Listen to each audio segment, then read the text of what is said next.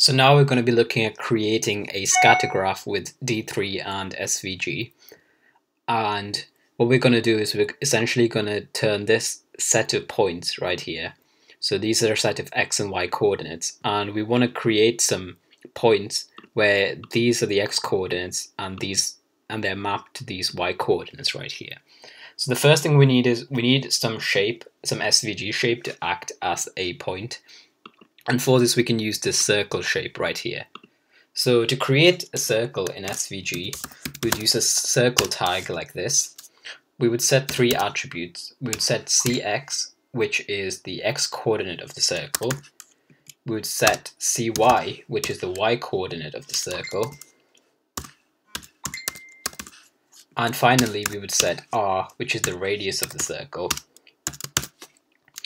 And what that does is that creates this circle right here. Now, one important thing to note is the fact that this cx and the cy refer to the coordinates at the center of the circle and not the top left point like in rectangles. So if I were to make this cx 10, only half of the circle is showing because the middle of the circle is at x equals 0. So now what we need to do is we need to create a circle element with for each of these and set cx to this and cy to this.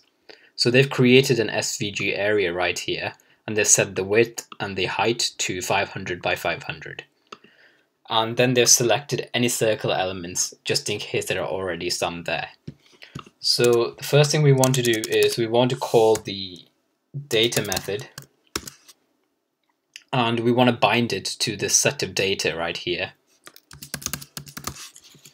Then we're going to call the enter method so that we can specify what to do for each of these items that don't have a circle, which is all of them in this case.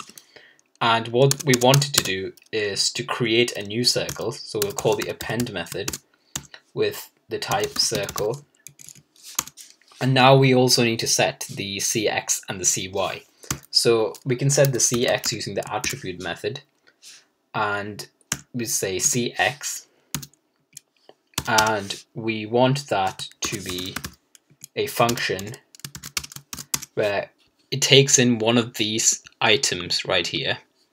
And we wanted to return the x coordinate which is the first part because this is a, a little array right here with two elements. So we want to return item 0 and now we need to set the y coordinate and to do that, we'll call the attribute method again.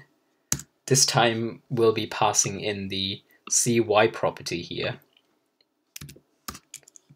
And again, the function is going to take in one of these rows right here.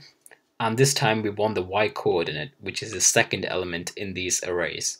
So we will return item 1 and it says here that the circles aren't visible yet and that's because we haven't set a radius yet and that'll be done in the next challenge. So this is all we need to do for this challenge so I'm just going to submit that now. Yep, that's exactly right.